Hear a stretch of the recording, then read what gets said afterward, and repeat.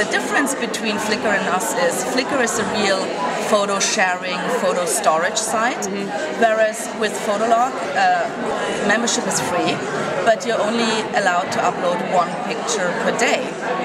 And this, this one picture per day thing makes you come back on a daily basis and you really keep on blogging and you post your picture and what's very neat and what none of the other sites like MySpace or Flickr or so have is um, you have you have this is your own picture. This is your space where you can blog.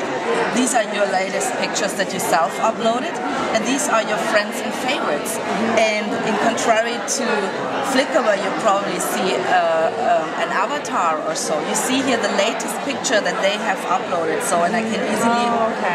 Click on this person and then I'm at their blog and they all look alike and, and this is a uh, uh, deliberate decision that you can change the colors and you can do a little custom title and things like that, but uh, all the pages of the six, the 16 million pages all look basically the same.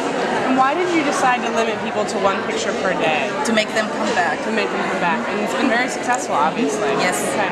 Yes. Well, Elke, thank you so much, so much for your time. This is fascinating talking to you. You're most welcome. Good luck.